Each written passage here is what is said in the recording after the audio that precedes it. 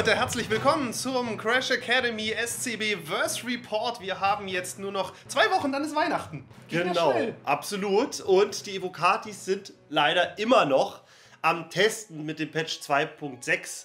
Ähm, hat jetzt alles etwas länger gedauert und das ist auch unser Hot Topic. Mhm. Es wird weiter daran gearbeitet und man kann davon ausgehen, dass wenn ein PTU, ein offenes PTU startet, dass das dann bis zum 14.12. eigentlich abgeschlossen sein sollte und nur eine sehr schnelle Phase ist. Ja, das wäre dann schon der Mittwoch dieser Woche, denn am Freitag, den 16.12. soll das Ganze live gehen. Das ist das Aim-Date und es kommt natürlich mit dem Holiday-Livestream zusammen, der dann am Freitag auch startet. Macht ja auch Sinn, weil wann sollen sie es denn sonst starten, außer dann, danach wird es wahrscheinlich auch zu spät und dann kriegen sie auch Schwierigkeiten, wenn es dann um Problembeseitigung geht bis zu Weihnachten. Unsere Spekulation ist, dass es eine ganz kurze, wenn überhaupt, offene PTU-Phase gibt, wo nochmal die Live-Server quasi wirklich den Stresstest machen müssen und dass es dann auch ziemlich schnell rausgeht an die Bäcker. Vielleicht sind es auch ein, zwei Tage später nach dem Holiday-Livestream, aber drumherum soll es wahrscheinlich passieren. Und unser Gefühl ist es, dass es auch ungefähr auf den Zeitraum kommen wird. Übrigens, auf der Schedule Report-Seite gibt es jetzt eine weitere kleine Kategorie, die sie ein eingefügt haben,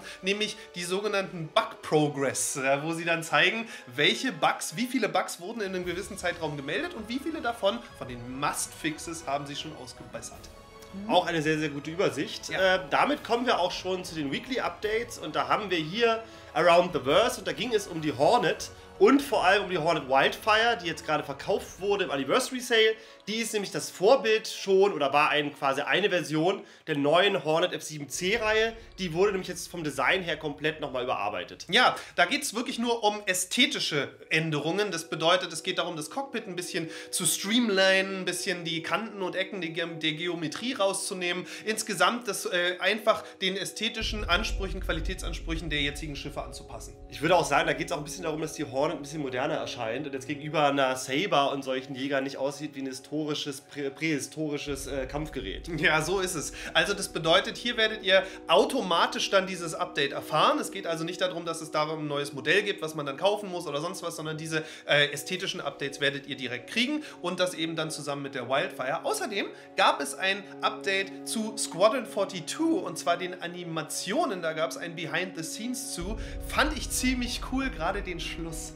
Mhm. Absolut. Das war nämlich das Flugzeugträgerballett. Da könnt ihr mal reinschauen. Da haben wir ein Voice-Over gemacht. Das war jetzt äh, letztes Wochenende online gegangen. Da erkläre ich so ein bisschen, worum es da geht. Und damit gehen wir auch schon zu Reverse the Verse. Und Reverse the Verse, da gehen wir nochmal auf die Hornet ein. Da wurden nämlich Fragen zugestellt, ähm, dass es sich nämlich wirklich nur um eine ästhetische Änderung handelt.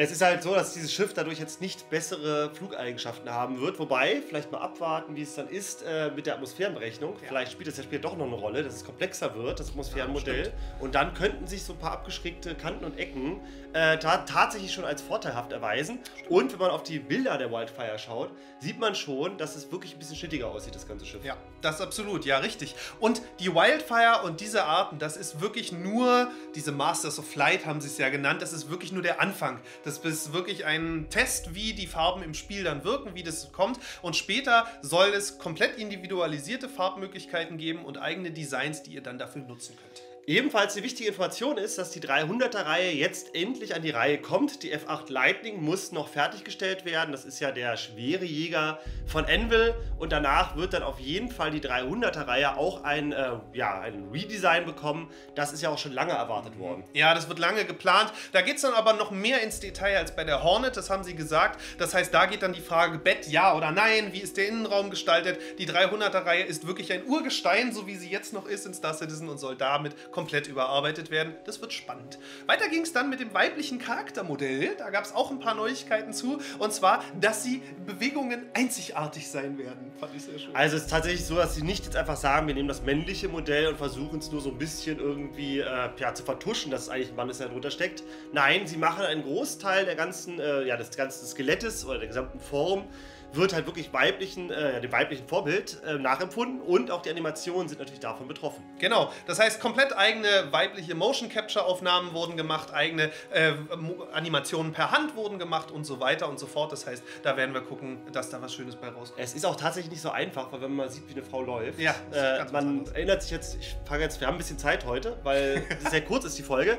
Äh, wir erinnern uns doch zum Beispiel an Star Wars Episode 6, wenn ich mich nicht täusche, wo Leia als Kopfgeldjäger Stahlträger verkleidet. Ja, stimmt, richtig. Man sieht es sofort, dass da eine Frau drin steckt. Ja, man sieht es sofort und wenn man den Film mal drauf achtet, man sieht so den klassischen Motorradbösewicht mit dem Helm und dem schwarzen Anzug, Motorradanzug und dann steigt er ab und du siehst sofort, alles klar, ist eine Frau. Und so genau soll es Die natürlich laufen auch nämlich sein. schöner als wir. So ist es. Der viel eleganter und das soll dann natürlich auch den Weg ins Spiel finden. Sind wir mal gespannt. Sie haben nämlich noch nicht gesagt, wann das weibliche Charaktermodell wirklich kommt. Mal gucken. Wir gehen noch mal äh, eine Kategorie weiter und zwar heute mal den Holiday Newsletter haben wir uns rausgesucht. Es ist äh, die Weihnachtszeit gerade und deshalb wollten wir euch ein bisschen informieren. Ja, Halt, eine Sache haben wir vergessen. was haben wir vergessen? Und zwar zu den Masters of Light. Ganz wichtig bei diesen verschiedenen Typen, die jetzt kommen, ja, stimmt. wie ähm, die Gladius, die jetzt nochmal kommt in einem anderen Typen, oder die Wildfire als Frontmodell.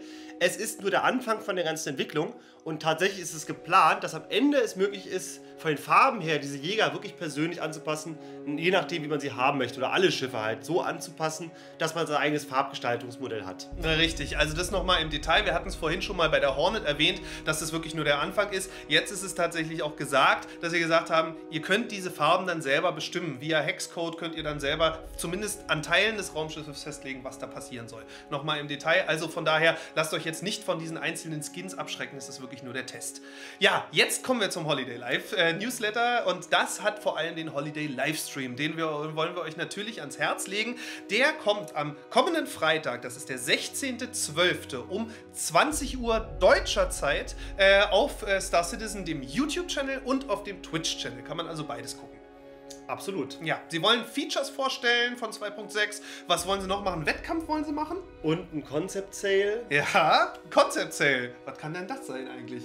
Die Prowler ist raus? Wer weiß. So, schreibt uns mal in die Kommentare, was ihr glaubt, was in den Concept Sale kommt. Wir wissen es nämlich gerade nicht so unbedingt. Also kein, ich würde mal sagen, kein äh, Kapitalschiff, kein Großkampfschiff. Glaube ich auch Was nicht. kleineres. Ja. Noch ein Jäger? Hm, ja, Nee, stimmt. Ja. Es gibt noch die Origin 600. Die kommt noch. Ich dachte Beispiel. auch gerade, ja. Das wäre aber ein Racer, oder? Noch Ja, ein weiterer. also zumindest wäre Oder? es irgendein High-Class-Schiff. Ja. Ich weiß nicht genau, aber Touring oder Racing müsste das dann sein und es dürfte kein Fighter sein. Vielleicht kein Fighter, oder? Wir haben genug Fighter. Ja, ich glaube auch. Ja. Also es wird ein bisschen größer sein. Unsere Größer? Spekulation, also als ein Fighter. Also Fighter, genau. Genau. Mhm. Aber so, ich sag mal so zwei Leute vielleicht, drei Leute. Ja. Bisschen. Platz da drin, vielleicht zum Touring. Wäre schön. Sowas. Zumindest ist es schön, wenn man mal ein anderes Modell von Origin sehen würde, als nur eine 890 Jump. Und die 300er-Reihe, viel mehr gibt es ja. M50. nicht. Ja, gut, die M50 noch. Aber das, 350R. das ist aber auch 300er-Reihe. Ja.